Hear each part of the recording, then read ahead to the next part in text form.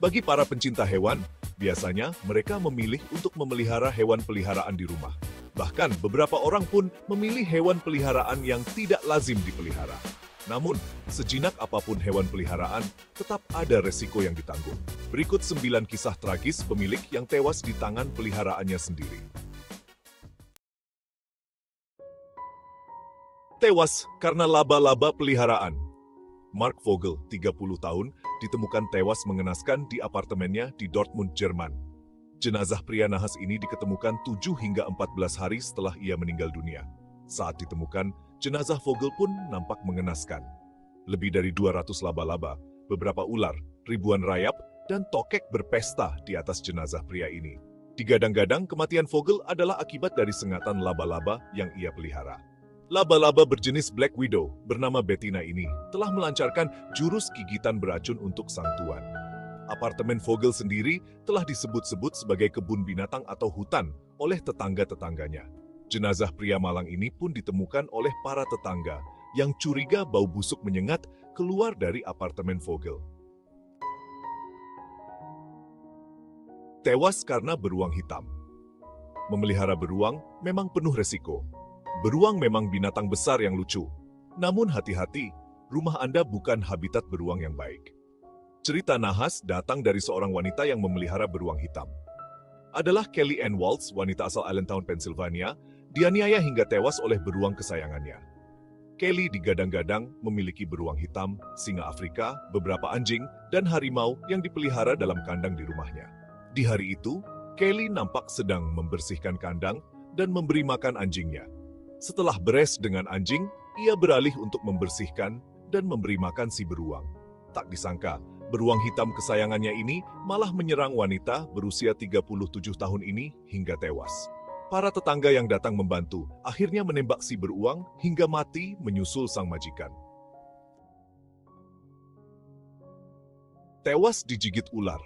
Seorang wanita berusia 44 tahun tewas karena digigit ular berbisa yang menjadi peliharaannya. Nasib malang menghampiri wanita ini setelah digigit ular berbisa peliharaannya. Ia mengendarai mobilnya sendiri untuk pergi ke rumah sakit. Sayang, ia meninggal setelah tiga hari kritis di rumah sakit.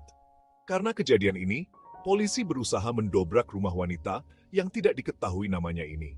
Di dalam rumah, polisi menemukan dua biawak, dua buaya, satu badak, enam kadal besar yang berkeliaran di dalam rumahnya. Polisi juga menemukan beberapa ekor ular berbisa, dan ada pula ular yang tak berbisa berada di bawah tumpukan pakaian si wanita. Ini rumah atau kebun binatangnya? Tewas karena unta. Wanita Australia yang berusia 60 tahun bernama Pam Weaver tewas karena unta peliharaannya. Kok bisa? Seperti yang kita tahu, unta bukan binatang buas kan? Ya, unta berumur 10 bulan ini nampaknya ingin melakukan hubungan intim dengan wanita malang ini. Saat diberi makan, sang unta tiba-tiba menendang Nyonya Weaver hingga jatuh ke tanah. Setelah melihat korbannya jatuh, si unta menginjak kepala wanita ini lalu berbaring di atas tubuh Weaver. Suami Weaver yang akan memberikan hadiah ulang tahun untuk sang istri kaget bukan main. Tragis, Pam Weaver meninggal saat hari ulang tahunnya yang ke-60 karena unta peliharaannya. Tewas karena harimau seorang pria yang menjadi ketua sebuah organisasi para pemilik hewan langka tewas setelah diserang oleh harimau peliharaannya yang berbobot 300 kg.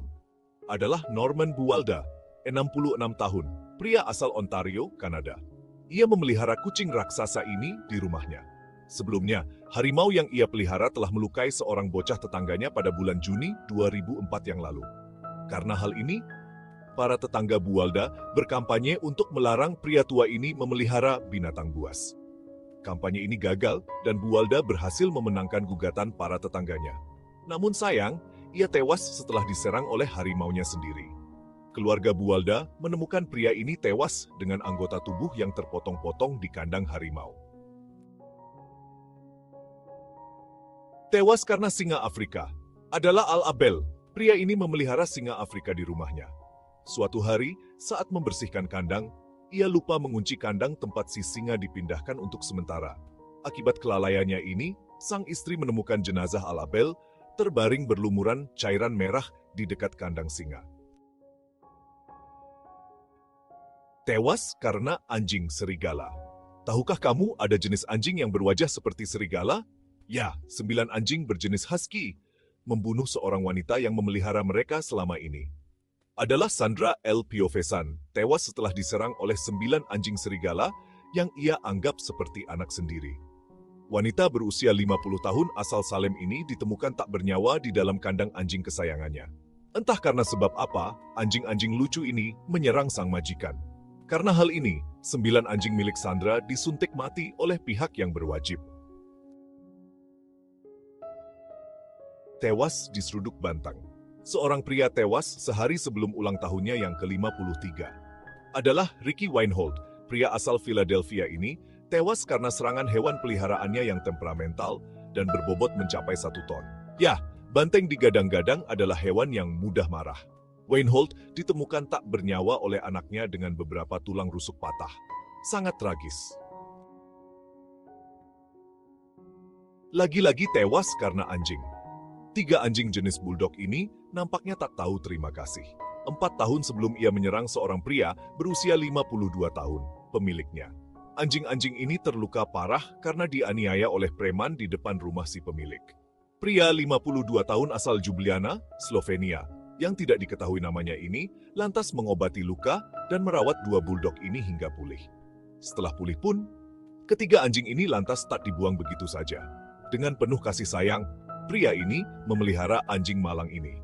Tak disangka, suatu hari pria ini malah tewas karena diserang anjing-anjing yang ia pelihara. Duh, sungguh kasihan.